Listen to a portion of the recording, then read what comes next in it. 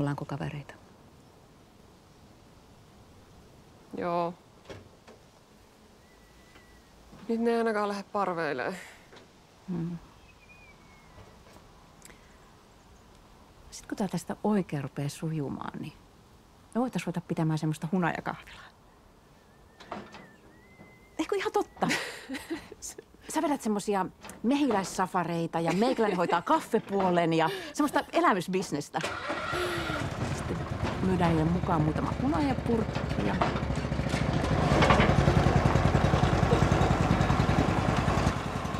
Mikä toi on? Tuohon leikkuri. No vastahan te ostitte uuden. Niin, kun tää on niin iso tää piha, niin ei sitä jaksa semmoisella tavallisella. Ai koskaan jaksa, niin sitten on pakko hankkia taas joku uusi romu pyörimään. Ja pakko kitata noita desinfissyjä. Eikö teillä ole se joku kuppulakone?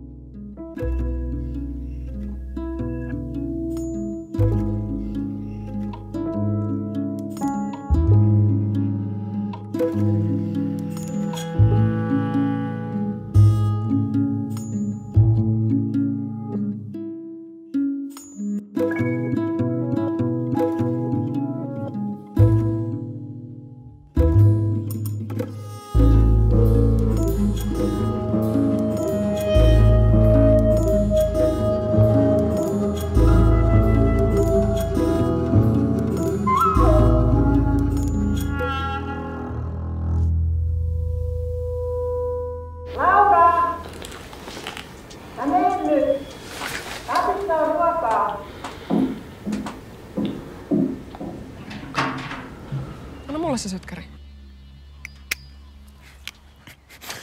Ja tuleeko sus nyt tämän paikan joku No tuhopolttaja? ei nyt jaksa tämmöistä enää kuunnella. Ihmisiä näkin vaan. Joo joo. Niin me kaikki. Tota, pitäisikö me mennä nyt sinne uimaan? Joo. Joo. Hei, hyppä reppari.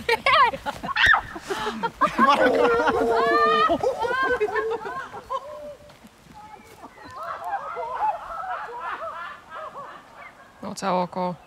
Joo. Enä sit se lähtee. Joo, kai. No ei sun oo pakko. Me ollaan tuolla. Ottakaa!